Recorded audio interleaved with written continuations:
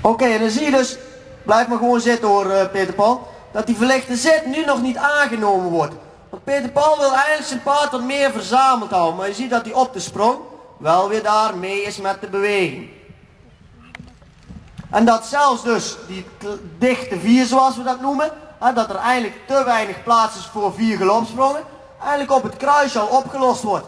Dan blijft het paard bij Peter, kreeg iets een slinger erin, maar hij heeft genoeg ruimte aan de stijlsprong.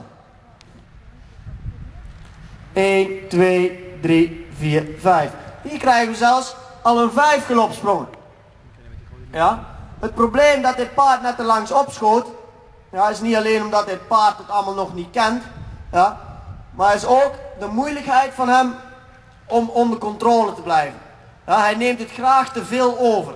En op het moment dat wij dan wel de controle willen bepalen, zoekt hij daar een uitweg in. Daarvoor kan een paard soms ook te langs oplopen. Ja? En daarom dat Jolanda nu eigenlijk de prioriteit geeft aan, ik blijf mijn paard kaasrecht houden en ik laat hem iets terugkomen in tempo. Zeg ik dat goed Jolanda? Oké.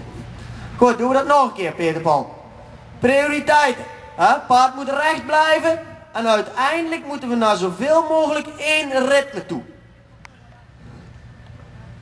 Dus we kijken naar dat ritme. Tadam, tadam, tadam. Sprongetje. 1, 2, 3, 4. Kijk, dit wordt al beter.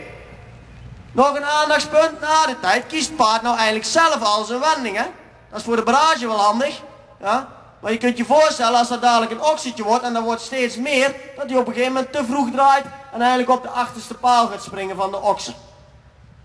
1, 2, 3, 4, 5. Oké.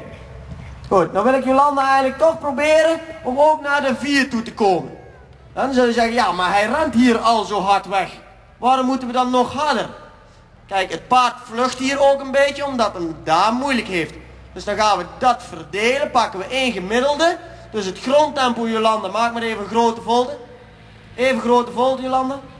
Het grondtempo al een tikkeltje hoger leggen. Dat de galopsprong er ook wat langer, dus hij hoeft niet zozeer sneller in de galop, maar wel wat groter. Ja, probeer hem nog een keer volte, nog een keer de volte. nog een keer meer ontspanning daar aan de voorkant, dat hij ook wat meer lengte neemt. Hem maar iets meer lengte nemen. En dan rij je gewoon zo in die luie galop even door voor jouw gevoel.